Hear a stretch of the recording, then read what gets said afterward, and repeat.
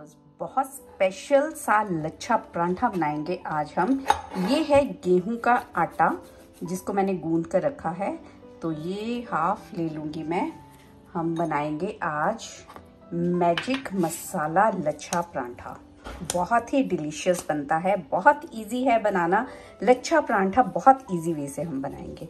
ये देखिए, एक बड़ी सी परांठे के लिए मैंने लोई ले ली।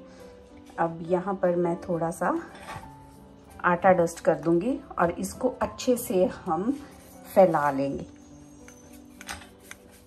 फैला लिया मैंने अच्छे से आटे को। अब ये है देसी घी। आप चाहें तो इस पर बटर भी लगा सकते हैं। मेल्टेड बटर इसको अच्छे से देसी घी को मैं फैला दूँगी। और अब इस पर हम डालेंगे मैजिक मसाला। ये है मैगी का मैजिक मसाला। ये परांठा बहुत बढ़िया बनता है। अच्छे से डस्ट कर लेंगे इसको, मसाले को। और अब इस पर मैं डालूँगी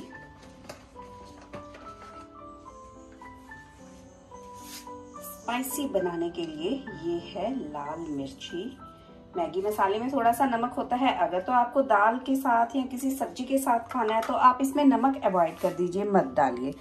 अगर आपको ये परांठा बटर के साथ खाना है तो आप इसमें इस टाइम पर हल्का सा नमक डाल लीजिए अच्छे से ब्रश की हेल्प से मैंने इसको मिक्स कर दिया। स्प्रेड करने के बाद चाहे तो आप नाइफ ले लीजिए। ये है मेरे पास पिज़्ज़ा कटर।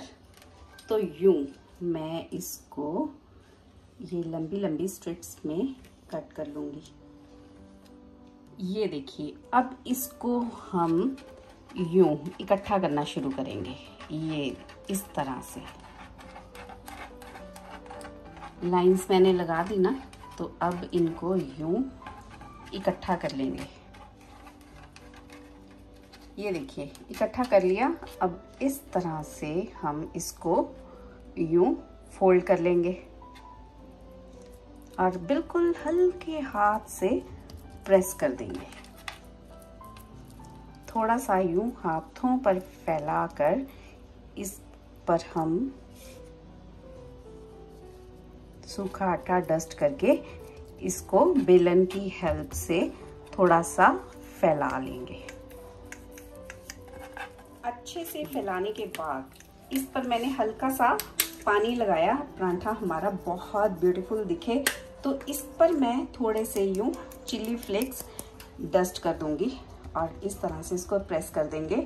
आप चाहें तो इस पर कसूरी मेथी भी लगा सकते हैं।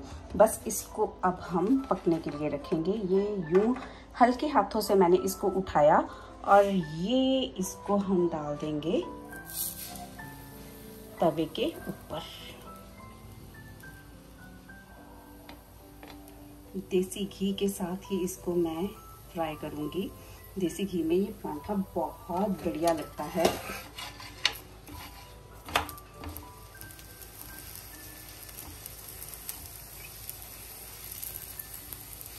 दोनों साइडों को अच्छे से क्रिस्पी होने तक हम पकाएँगे।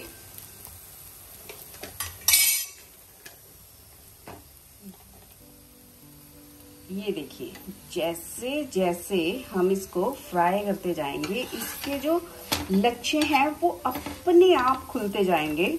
और फ्रेंड्स ये बहुत ही इतने लच्छे बढ़िया बने हैं मज़ेदार सी परांठी बनकर बिल्कुल रेडी है।